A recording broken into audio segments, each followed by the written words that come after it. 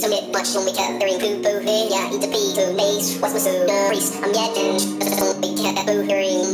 Hey, I wanted to work on this question dealing with Chebyshev's inequality.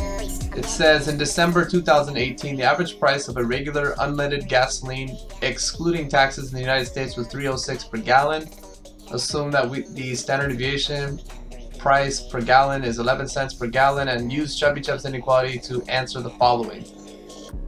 Alright, so this one just tells us to use Chebyshev's inequality. Now, Chebyshev's inequality should be compared to the empirical rule, and you want to know when to use Chebyshev's inequality, when to use empirical rule. Basically, with empirical rule, um, you know that the data is bell-shaped. So if you look at this picture right here, it says the empirical rule, or the 68, 95, 99.7 rule, says if a distribution is roughly bell-shaped, then we know the distribution of you know, what percentage of data was it is within one standard deviation or two standard deviations or within three standard deviations. We kind of know that if it's bell shaped, right? Then we know that it's 68, 95, 99.7. Alright, so you know you have this weird picture mu minus 1 sigma, mu minus 2 sigma, mu minus 3 sigma because it's within mu is the mean so that's how much data is within one standard deviation of the mean and that's the empirical rule. Now another, compare that to Chebyshev's inequality, which is actually more powerful because it says for any data set, at least this percentage of the observations lie within k standard deviations, so kind of like the same thing, within k standard deviations. See, mu minus k sigma. Within k standard deviations of the mean. So it's the same type of thing, except for here, it works for any data set and it's you can choose any k you want here. k can be any number greater than 1 because if k is 1 you just get 1 minus 1 which is 0 and so that doesn't work. You don't want k to be 1 or smaller so k pretty much has to be greater than 1 for Chebyshev's inequality works. So Chebyshev works when k is greater than 1 so like 1.1, 1.5, 2, 3 uh, empirical rule only works when k is 1, 2, or 3. You see that? Anyways, so that's a little bit about the empirical rule and Chebyshev's inequality. So let's try the question now. So we're going to use Chebyshev's inequality. It doesn't say anywhere that it's bell-shaped. What's bell-shaped? Well, the the price of gasoline. We're dealing with the price of gasoline, right? So the price of gasoline is not bell-shaped. It doesn't say that anywhere. So now we can start this question. What minimum percentage of gasoline stations had prices within four standard deviations of the mean? So that's a pretty simple question.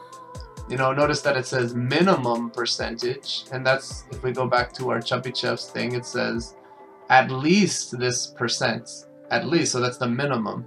So really, we just have to plug in 4 for this one.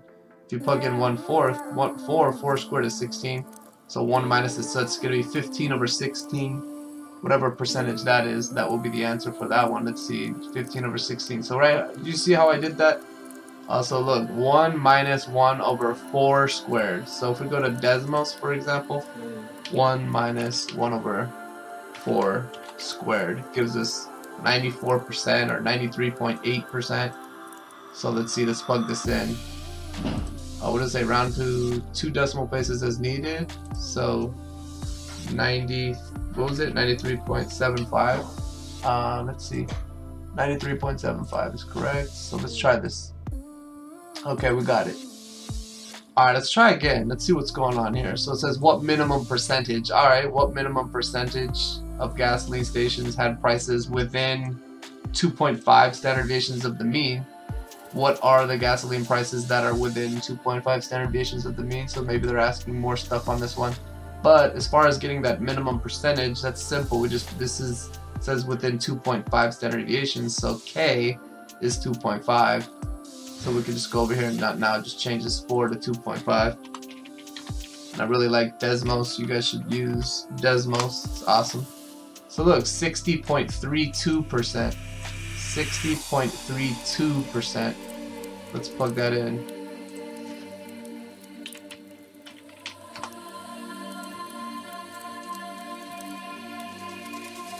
6.22.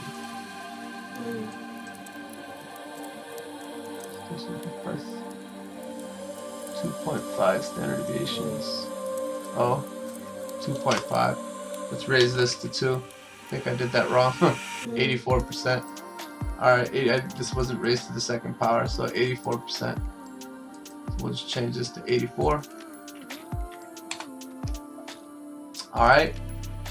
Well, the gasoline prices that are within 2.5 standard deviations of the mean are. So this is a good question. I like this one. So we just got to figure out what our mean and our standard deviation are. So it looks like our mean is what, 306?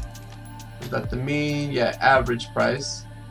And then what's our standard deviation? 11. So we just got to multiply and subtract 2.5 standard deviations. So what is a standard deviation? It's 11 cents.